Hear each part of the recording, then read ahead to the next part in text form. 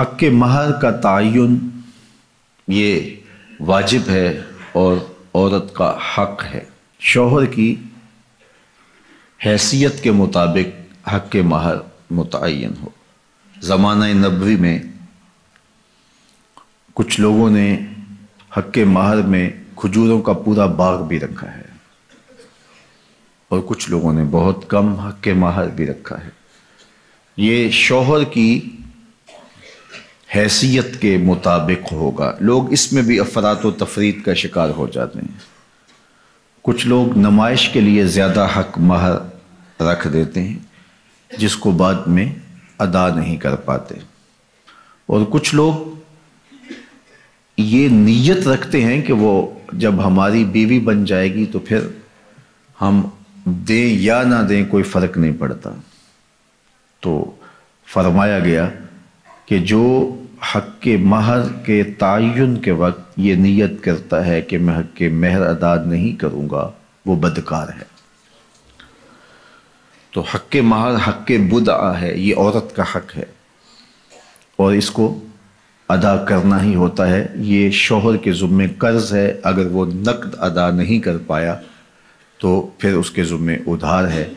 جب عورت چاہے مطالبہ کر کے اس سے وہ حق وصول کر سکتی ہے اور اس پر اس سے ناراض ہونے کی ضرورت بھی نہیں ہے۔ تو نہ تو حق ماہر اتنا رکھنا چاہیے کہ جس کو ادا نہ کیا جا سکے۔ دوسرا اس کا رخ یہ ہے کہ کم سے کم حق کے ماہر رکھا جاتا ہے۔ آج کل وہ کہتے ہیں، لکھو جی شری لکھ لو۔ شری کتنا ہوتا ہے؟ کسی زمانے میں بتیس روپے دس آنے کہتے تھے۔ اور آج کہتے ہیں پانچ ہزار روپے لکھ لیں جی۔ اچھا بیٹی والا بیچارہ بولتا نہیں۔ وہ مسئلہ شری جانتا بھی ہو تو پھر بھی نہیں بولتا۔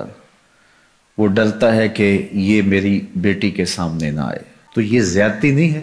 آپ کا بچہ اسکول کالج میں پڑھتا ہو تو پانچ ہزار روپے تو اس کو آپ دیں۔ تو وہ ایک مہینے کا خرچہ پانچ ہزار روپے نہیں لیتا۔ اور یہ عورت اپنے آپ کو تمہارے سپرد کر رہی ہے اور یہ اس کا حق بدا ہے، اس نے خود متعین نہیں کیا، یہ حق اس کو اس کے رب نے دیا ہے۔ اور تم پانچ ہزار روپیہ دیتے ہو۔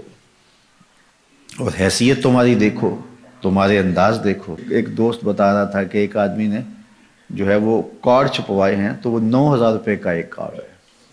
نو ہزار روپے کا۔ تو جو دوستوں کو بانٹے، اس کا کل خرچہ پنتالیس لاکھ روپے آیا۔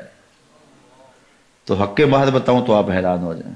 تم نے اس خاتون کو اتنا بے توقیر کر دیا ہے۔ پہلے دن ہی تم نے اس کی قدر و قیمت کا لحاظ نہیں کیا، اس کی عزت افزائی نہیں کی۔ یہ اس کے لیے سادہ لفظوں میں سلامی تھی جو اس کو آپ نے نکاح کے ساتھ پیش کرنی تھی۔ تو یہ بات ذہن میں رکھیے کہ جو حق مہر ہے یہ حق بدعا ہے، یہ عورت کا حق ہے اور یہ میرے رب نے مقرر کیا ہے اور یہ واجب ہے۔ جو ادا کرنا ہو وہ رکھنا چاہیے، نمائش کے لیے نہیں کہ بعد میں وہ ہماری بیوی ہوگی، ہم دیں، نہ دیں، نہیں، ایسا نہیں ہے۔ ہو سکے تو نقد دیں، لیکن ادھار بھی کیا جا سکتا ہے۔ عورت چاہے تو معاف بھی کر سکتی ہے، لیکن اس کو مجبور نہیں کیا جائے گا۔ لیکن شوہر کی حیثیت کے مطابق حق مہر ادا کیا جائے، رکھا جائے۔ نہ زیادہ کہ نکاح مشکل ہو جائے اور نہ تھوڑا کہ عورت بے توقیر ہو۔ تو مناسب حق کے مہر رکھا جائے۔